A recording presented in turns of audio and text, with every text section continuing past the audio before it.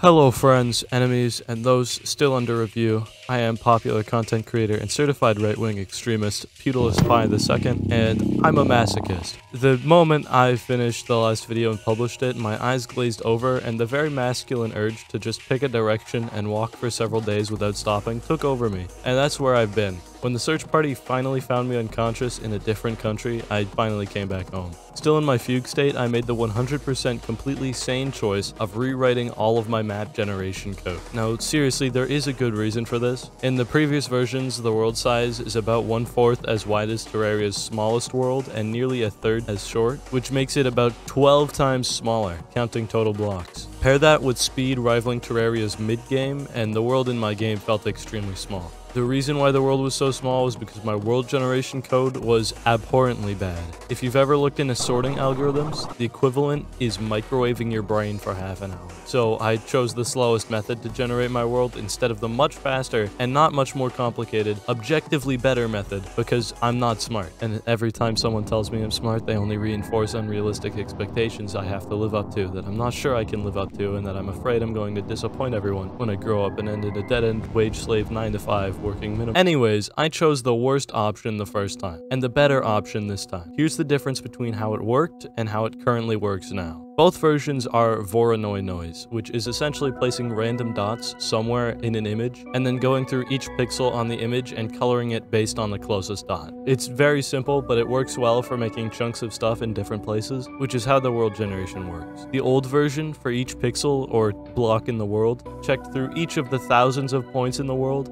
essentially doing this many operations for one world. The new version works like this. Instead of generating completely random points, we instead make a grid. In my game, the grid is 10 blocks by 10 blocks, but because I'm lazy, I'm gonna draw 5 blocks by 5 blocks. For each grid square, we place one point somewhere random within the square. Due to complicated math reasons, we know that a block anywhere within this middle square here is always closest to one of the points in these 9 adjacent squares, so we can be confident in only checking these 9 points for each block. That cuts us down from this many operations down to this many operations. As you could probably tell, one number is a little bit smaller than the other, which means it's faster. Top it down with other smaller optimizations like checking whether a block is part of a cave or not before looping through those 9 points to skip calculations on all of these blocks, and avoiding slower syntax by just using faster syntax, and I'm down from a small 1000 by 450 block world taking about 30 seconds to generate to a couple frames almost instantaneous on a world more than 4 times the size of the old one, 2000 blocks by 1200 blocks. This optimization should allow me to include more complicated and slow methods of generation, things like procedural dungeons and more natural boss arenas. For now though, I've just been focusing on the jungle biome and here's what I've made. The first, most boring and unnoticeable change is the background rehaul. It visually looks very similar, but inside it works different. The previous version just had one layer of really tall textures layered across the whole world, which worked fine for the previous smaller world size, but with larger worlds, increasing the number of sprites sideways led to lag, and the sprites were too short and would end halfway down the world. To fix this, I changed to a square grid of textures instead, and as far as I know, there haven't been any problems with it, it, but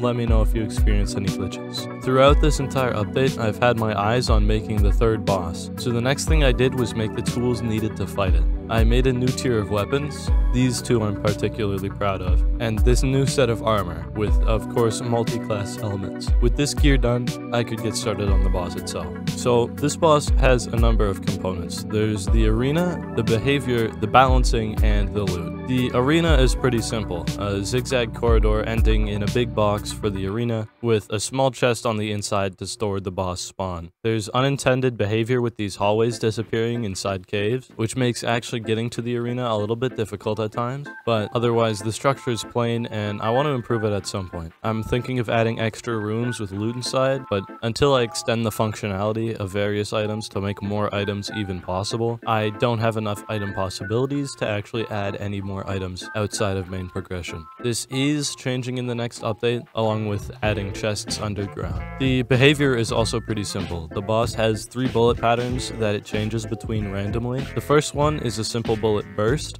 Which is probably the one that kills me the most often when I fight it, even though I thought it'd be one of the easiest attack patterns to avoid while making it. Uh, the second most dangerous attack is this random homing bullet one. I'll admit that it's bad design to have random bullets flying around, especially ones that home, but this one doesn't actually end as much attempts as the previous one. The last attack is my favorite and the easiest one to dodge, and it's the bullet wall. The bullet wall will shoot three bullets. In the second phase, it'll shoot five. And they don't home or anything, but if this attack happens when you're on the edge of the arena, you have to choose between getting hit by a bullet or getting hit by the boss. The balancing took me about as long as just making the boss. Uh, I did have to fix bullets, because sometimes they inflicted iframes and sometimes they didn't, which caused massive variation in damage, especially when the frame rate changed. When I did fix this, the average DPS of the player dropped, so I had to buff all the weapons again. The loot at the moment is pretty plain. There's just one drop from the boss called the Empress's Wings. They're the first wings that you can actually use to fly in the game, but they're more like a double jump. Killing this boss also makes new mobs spawn in the jungle that drop both the moss balls and the thorns, which can't be used to craft anything yet, but be patient, those will be important later.